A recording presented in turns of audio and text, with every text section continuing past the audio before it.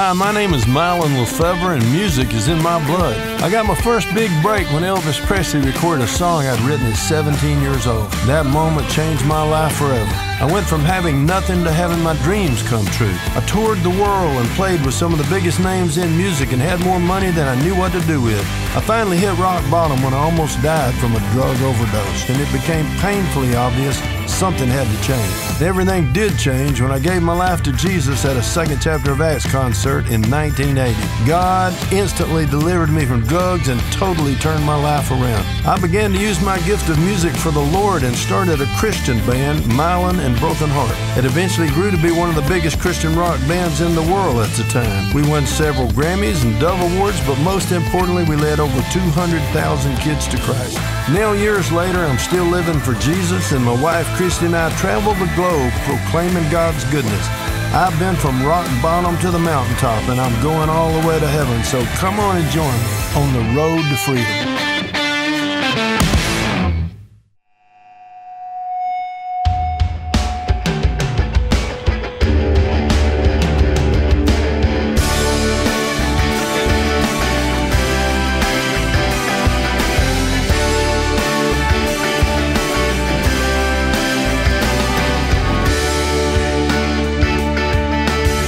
Welcome to On the Road to Freedom. We're so glad you decided to join us today. As you can see, we're here at magnificent Caddo Lake on Yeah, the Texas Louisiana Gorgeous, border. gorgeous. We've been riding around this morning, taping and filming in different locations, and this place constantly amazes me. Yeah. There are places where it looks like you could get out of the boat and go for a walk, but it's actually grass growing on top of the water. Mm-hmm. I think he calls it Salvinia grass.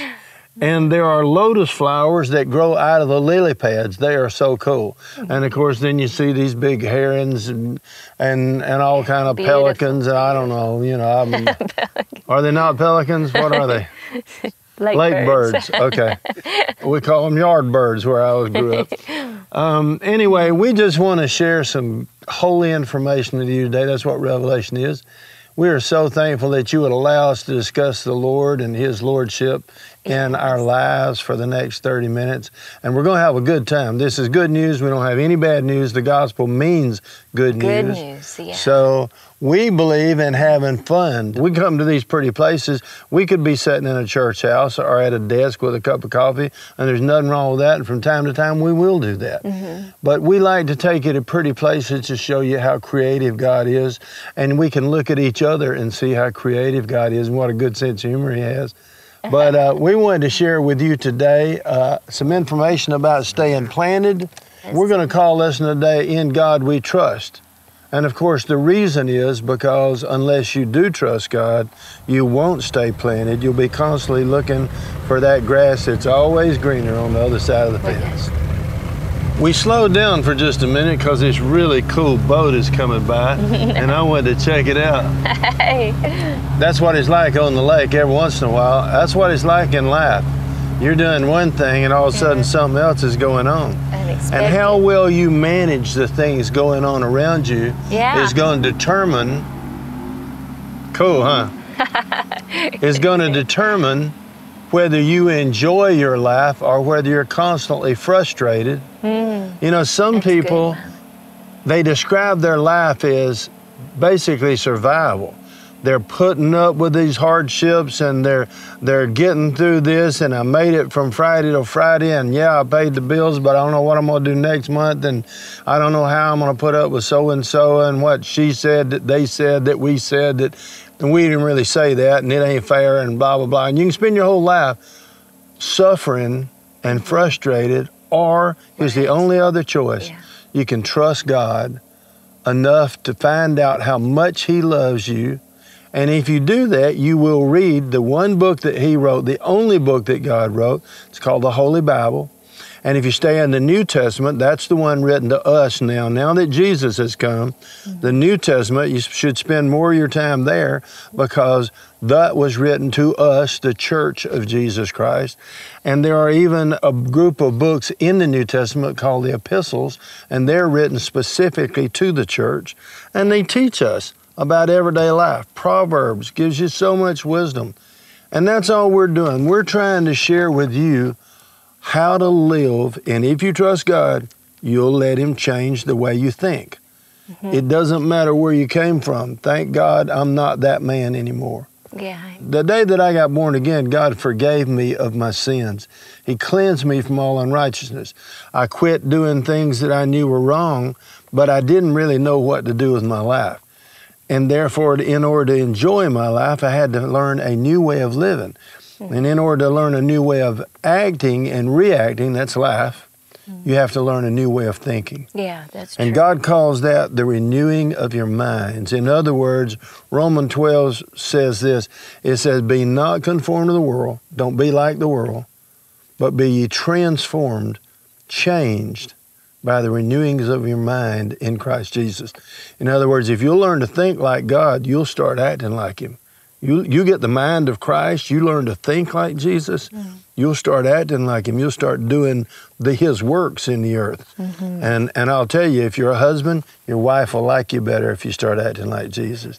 if you're a father, a brother, a son, everybody will like you better as you get your mind renewed and start thinking like the Lord. You want to read us our verse in Jeremiah, babe? Sure, it's in Jeremiah 17, 7 through 8, and it says, Most blessed is That's is who the I man. wanna be. That's right, amen. Come on. Most blessed is the man who believes in, who trusts and relies on the Lord, and whose hope and confidence the Lord is. That means we don't Yeah. put our confidence in the government. We don't put our confidence in Money. our employer or our bank statement. Our confidence is in the Lord. Yeah. For he shall be like a tree planted by the waters. Oh my goodness, all of these trees are such a great example of these trees are planted by the water that spreads out its roots by the river, and it shall not see and fear when heat comes. You know, because the trials and the, the tribulation, they come to all of us. That's right. But this person who's planted in the Word of God shall not see and fear when those trials come, but its leaf shall be green, and it shall not be anxious and full of care in those times of trial. That's right. in the year of drought or a year where it looks like your needs aren't being met, this person is not anxious and full of care, nor shall it cease yielding fruit. That's right. And that's Amen. that's our desire That's to we're keep producing what? The life of God. Right. the will of God. That's all I want to do. I want to do the will of God. And I used to think if I do the will of God that I wouldn't enjoy it, that I would miss out on the party. What I found out as I've learned to trust God is I've entered the party. And it's going to last forever. One of these days, I'm going to close Yeah. Mm-hmm. my eyes on this planet and I'm going to wake up in heaven. That's when it's really going to get started. Yeah. But in the meantime, I, this party that I'm going to, you never have a hangover. You never uh, wreck your car because you were drunk the night before and you don't wake up in jail. Yeah. I mean, it is an amazing place, this kingdom of God that we live in. When you obey God, when you trust God, you don't have to be begging God to fix it all the time. Yeah. I spent Thank most of my early Christian life asking God to fix the mess I'd made because I had disobeyed Him and ignored Him. Mm-hmm. And it wasn't that I was anti Christ, I wasn't against God. I always believed there was a God. I always believed that Jesus was His Son, but I ignored Him and I didn't do anything He told me to do. I just did what I thought was best and what I thought was right and what made me a good guy in my own sight. But that's not the truth and therefore the truth did not set me free. The Word of God is the truth. Mm-hmm. Yeah. Psalm mm-hmm. 103 says, Bless the Lord, O my soul, and all that's within me. Bless His holy mm-hmm. name. And then in the verse 3 it says, Forget not all of the promises of God. Uh, or the benefits of being a child of God. He starts listing the benefits. First one is He forgives all my sins, and I think every Christian believes that God forget. You, if He just forgave some of them, you'd still go to hell. God Yeah. forgives all of our Oh, sins. Thank you, Lord. When we confess our sins, He's faithful and just to forgive them. Mm-hmm. And then the next verse says, He heals all my oh. diseases. Now, here's the one where Christians have trouble sometimes. And I think most Christians believe that until, of course, some symptoms or the doctor disagrees or a blood test or a Right, CAT right. scan said it's not working for you. Mm-hmm. But let me just remind you if you don't believe you're still healed when the doctor says you're not, Hmm. then you never did believe that by his stripes you were healed. yeah, When God says, and He did, by His stripes you were healed, you have a right to believe that you are healed, which means until the manifestation of that healing comes in your body, you're in the fight of faith. Now you're going to find out whether you really believe mm. God or whether you just believe there is a God. Yeah, because true. believing there is a God, that's true. But if you believe God's word, that's what we're supposed to have faith in. Yeah. We have faith in what God says. If God says you're healed and your body says you're not, then you got to decide what you believe and who you believe. Mm-hmm. I've had to do this myself. I wouldn't be 73 years old. I would not be here today have I had I not learned to live by faith. Yeah. Amen. And that's what the Bible says the just are supposed to do, to live by faith. So I want to encourage you to continue doing that. Amen. John 8 and verse 32. Why don't you share that with us, baby? It says, If you will continue in my word, this is uh, where we got the title for this show, On the Road to Freedom, because Jesus said, If you will continue in my word, you will know the truth, and the truth will make you free. So the more that we continue, in the Word, the freer we get. That's why it's so important that we refuse to quit. If we're going to stay planted and really be fruitful and have lives that are fruitful for the Lord, um, which is His will, uh, I want to read you what Acts 20 24 said. And Paul said this in the midst of suffering, great suffering and great persecution.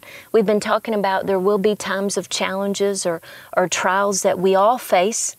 But Jesus said, You can be of good cheer because I've overcome the world mm. and I've deprived it of the power to harm you. Good. So in Acts 20 24, Paul said, In the midst of great persecution, he said, None of these things move me. That's it.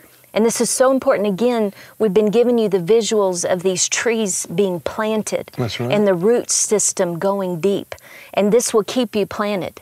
None of these things move me. Yes. And neither do I esteem my life dear to myself. Now, here's the key if only I may finish my course with joy. This is so important for all of us. We need to be determined and decide that we're going to finish our course and not just survive it, not just get through life and do the will of God. God said here, do it with joy. Yeah. I want you to finish with joy. That's enjoy right. serving me. Enjoy, enjoy doing my will. Yeah. And that's why we're in these beautiful places so that you can really taste and see that the Lord is good and that your life will be blessed when you choose to trust Him. Let me say again I don't have to be a Christian. I remember how to sin. Mm-hmm. I just found something so much better than sin, I don't want to do it anymore. I really want to enjoy yeah. the life of God. Being a Christian is awesome. Yeah, it is. And I'm having so much fun serving God with you. Amen, I'm too. Mm. So, this is so key. I want to just give you a few more scriptures. The reason why we give you so much word, let me say this Hebrews 4 2 says that we join our faith with the word that we hear. That's Never right. man's opinion, because our opinion will not change your life, no. but the truth of God's word will. Yes. So we join our faith with the word. So that's why Mylon and I always make sure you have plenty of word, the rock of God's word to stand on. But also, uh, let me just remind you that you know the word says that if you if you hear the word and don't do it, you deceive yourself. If you hear the word of God and you don't live according to what you hear, it doesn't do you any good and it doesn't set you free. You'll end up with what we call religion. You go hang out under a steeple and you and you and you maybe get baptized and you go through the motions and mm-hmm. and you do all kind of nice stuff but you have none of the power of God in your life. In order to please God, you got to believe that He is and that He's a rewarder of those who diligently seek Him. Yeah. The more that you seek the Lord, the more you read His Word, and the more that you work on submitting to it mm-hmm. and being a peaceful person, being a kind person, being a, a basically a spirit filled, led person, then the more that God will reward you, and not just in heaven, but in the earth. Yeah. He wants to bless you. He is a good father and he is in love with you, man. And he will do that if you'll let him go. Amen.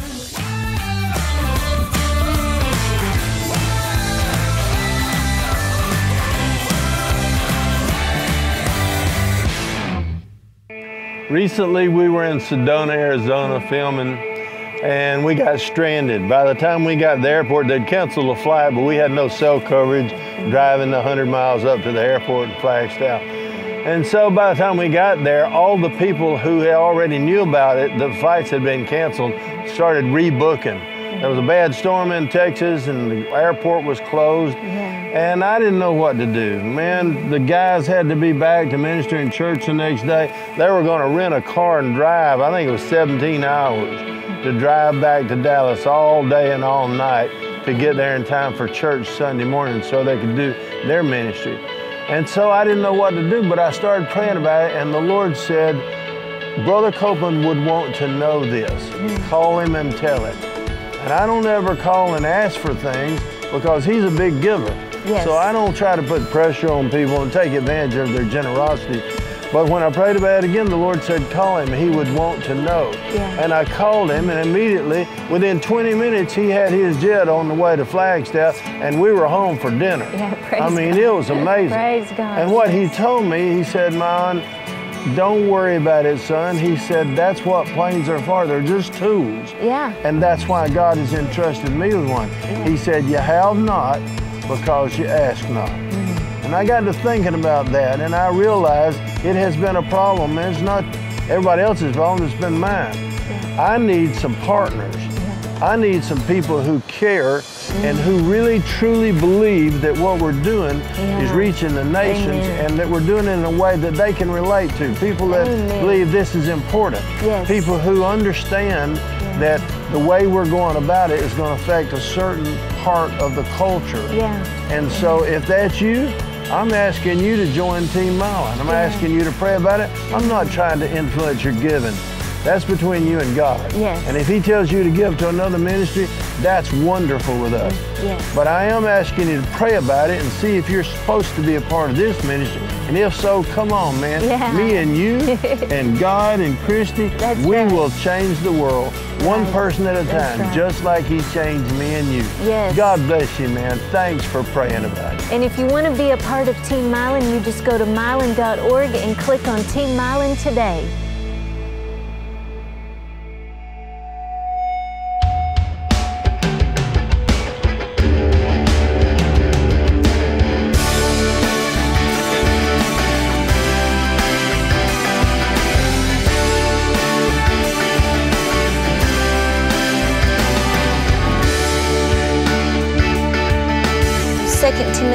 7 says again, uh, this is Paul, I have fought the good fight. Mm-hmm. And it is a good fight because if you don't quit, we win. Come on, man. Amen. I have fought the good fight. I have finished the race. I have kept the faith. Praise God. That's mm. that's our goal. That's it. Hebrews 6 10 through 12 says, For God is not unrighteous mm. to overlook your labor and the love which you have shown for His name's sake in ministering to the needs of the saints. Your labor in the Lord is never in vain. It has not been overlooked by Him. Be encouraged today by that. But Paul goes further and says, But we strongly desire for each of you to show the same diligence, the same sincerity and zeal and passion all the way through until the end. So, what Paul's saying is, what started that passion that began you serving God and the dream and the vision going after it. Paul said, continue with that same zeal, that same diligence all the way through until the end, in order that you may not be spiritual sluggards. Now, this is one of my favorite promises concerning refusing to quit, staying planted in the Word of God. Galatians 6 9 says, And let us not lose heart and grow weary in doing right, in doing the right thing for the right reason with the right attitude. For in due season we shall reap. That means the reward is on its way. Payday is coming if we don't quit, if we don't give up. Well, baby, you mentioned a moment ago uh, 2 Timothy 4 and verse 7. I just want to comment on it. Paul said, I fought the good fight and I finished the race. I've kept the faith. Let me give you just a minute. There is a fight of faith. Yeah. We Christians are not supposed to be fighting among ourselves. Mm-hmm. The Bible says that we are not, uh, flesh and blood is not the problem, but we, we're not doing a battle against flesh and blood people.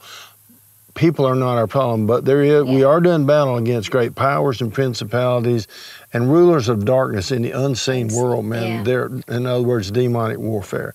And we are doing battle, but we're doing it by faith. In other words, if the doctor says you got cancer, you're not doing battle against cancer. You're doing battle against the spirit of fear because when you pray that God will heal you, you're you're tempted to believe that he might not because you saw other people who had cancer and they were Christians and they didn't get healed. But you don't know what they believed. You don't know. All you know is what you believe. Mm-hmm. I have missed it many times, but God never has. I can tell you that every time I've done what He told me to do, He has blessed me for it because it honors Him for me to tell Him that I believe He's honest. Yes. And that's yes. what this show is about. In God, we trust. In God. That's who we are. That's what we do. That's not something we do we every live. once in a while. Yeah. That's what we do 24 hours a day. Amen. We try to honor God. Whatever He said, that determines what we're going to do next and how we're going to go about it and how we're going to act, how we're going to react, what we're going to say, and, and our reaction to what everybody else says. So Mm-hmm. Let me end with this. There is a scripture over in James that I love. Uh, James 1 and verse 25 says, Yes. he who looks carefully into the faultless law, the law of liberty or freedom in this case, and is faithful to it and perseveres in looking into it, in other words, studying it, thinking about it, meditating on it, being not a heedless listener who forgets, but an active doer who obeys, Yeah. He shall be blessed. That's the will of God concerning you, my brother and sister. God wants you blessed. He or she shall be blessed in their doing their life of obedience. Mm-hmm. God wants you blessed so that you can be a blessing, so that you don't have to worry about paying your rent, but so that you can help your family, help your kids, so that you can help us do things like this and help people who don't yet know how good God is and how much He loves them. Yeah. Man, we love you. Thank you for letting us share the Word of God with you today. We had so much fun. We love you. We don't know your name, but God does, and we're praying for you. Yes. We're going to be believing that you're going to stay in the Word and you're going to stay on, On the road to freedom. Well,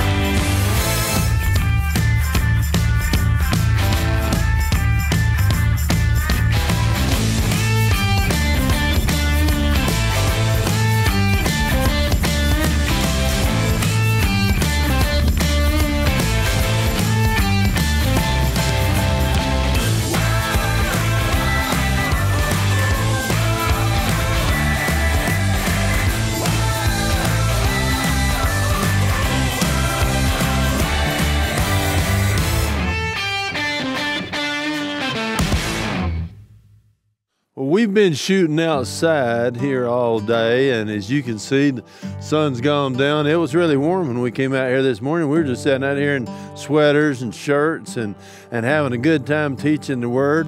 We've done about 12, 15 shows in the last couple of days and done some skiing and some playing and lots of laughing and, and eating together and fellowshipping and praying. And, but man, at the end of the day here, look at this view. Can you think of a better place to have your life changed? I thought it'd be a really silly thing to do all this teaching do all these shows and, and not give anybody a chance to make a decision for Christ. I don't know what's going on in your life, man, but I know that I was sitting on the other side of this camera years ago and I was by myself, man. I'd sit in those hotel rooms. I'd, I was in a rock and roll band, and I'd come up after the gig. I was really stoned, and it was late at night, and I'd flip the TV on, and, and I was lonely.